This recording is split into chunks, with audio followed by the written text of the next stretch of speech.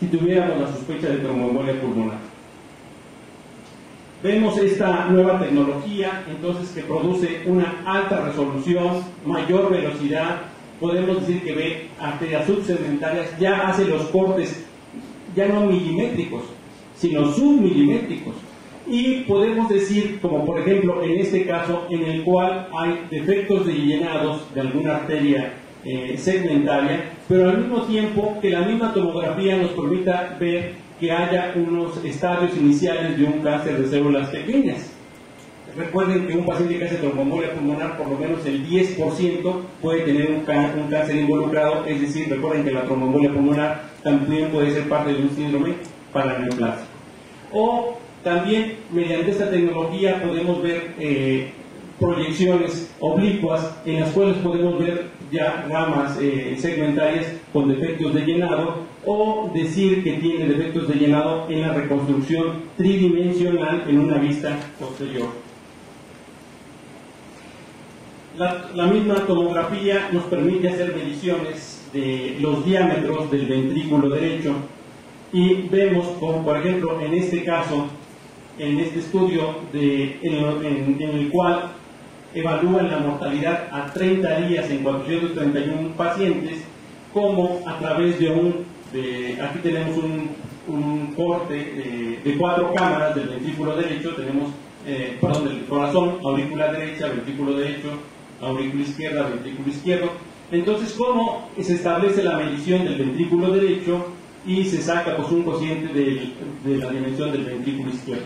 Entonces, cuando es mayor este cociente, cuando es mayor de 0.9, obviamente el paciente va a tener una mortalidad del 15.61% y de acuerdo al intervalo de confianza, es decir, que tiene, tendría este, estos tipos de estudios de un margen del 5% de error, podría ser que estos pacientes que cumplen con este resultado, pues en el mejor de los casos van a tener una mortalidad del 11, pero se puede llevar hasta prácticamente el 20%. Es decir, de cada 5 pacientes con tromboembolia pulmonar, quien tenga este resultado, uno va a morir. Entonces es por eso que también nos permite un índice pronóstico. Lo que es contrario cuando la, la relación de este cociente del ventrículo derecho con el ventrículo izquierdo, pues es menor de, 0.9 y vemos que eh, la, mortalidad, pues en el mejor de los casos, es del 3.5%, aunque puede elevarse hacia el 12.1%. Esto nosotros lo hemos podido corroborar en nuestros pacientes, en los cuales una paciente del hospital vemos, por ejemplo, perfectamente cómo el ventrículo derecho rebasa las dimensiones del ventrículo izquierdo y al mismo tiempo la tomografía nos permite ver el defecto de llenado en la rama derecha de la arteria pulmonar. Este es un estudio muy interesante de, este, grupo de, Ginebra, en los cuales, ¿qué es lo que vamos a hacer? Lo importante de esto es que no a todos les vamos a pedir la, tomografía helicoidal, sería imposible, es un estudio eh, de alto costo. Entonces, este estudio determina a quién se lo vamos a pedir. Entonces, todos nosotros, cuando tengamos una sospecha clínica, por ejemplo, ellos que estudian 756 pacientes, lo primero que valoran es si tiene alta probabilidad clínica. De este grupo de pacientes, 756, 82 cubrieron este criterio, que tenían alta probabilidad, tenían problema de trombosis venosa, tenían todos los factores de riesgo, obesidad, o tenían, por ejemplo, eh, un factor eh, procoagulante. Entonces, en ellos, de estos 82 pacientes, en 78, pues el 95% se confirmó por tomografía el diagnóstico. Ellos además hacen ultrasonido en miembros inferiores y checan que este grupo de pacientes tiene un 47% con trombosis venosa profunda. Entonces aquí podríamos estar hablando que esto nos da una sensibilidad del 95%. ¿Qué pasó con esos cuatro en el cual la tomografía fue negativa. Bueno, uno de ellos resultó con trombosis venosa profunda y recibió tratamiento. Y a estos tres restantes se les hizo angiografía pulmonar, la cual fue negativa. Pasamos al siguiente grupo, es decir, de estos 674 pacientes restantes sin alta probabilidad, algo muy interesante, un estudio muy sencillo que es el dímero D que es el producto de degradación de la fibrina, cuando rebasa, aquí eh, hay un error, cuando rebasa 500, eh, perdón, eh, si es menor de 500 nanogramos por mililitro, pues obviamente el riesgo de tromboembolia es muy bajo. Entonces, el 34% de estos pacientes pues no requirieron tomografía.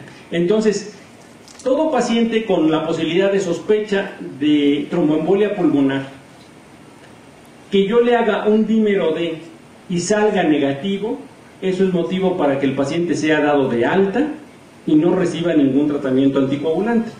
Del resto de los pacientes, pues en 442, en 109, en 109 se confirmó por tomografía el diagnóstico y eh, la tomografía y el ultrasonido fueron negativos en 318. Estos pacientes se siguieron a tres meses y en tres de ellos hubo un evento tromboembólico. Es decir, sí existe un margen de error, pero este margen de error es muy estrecho.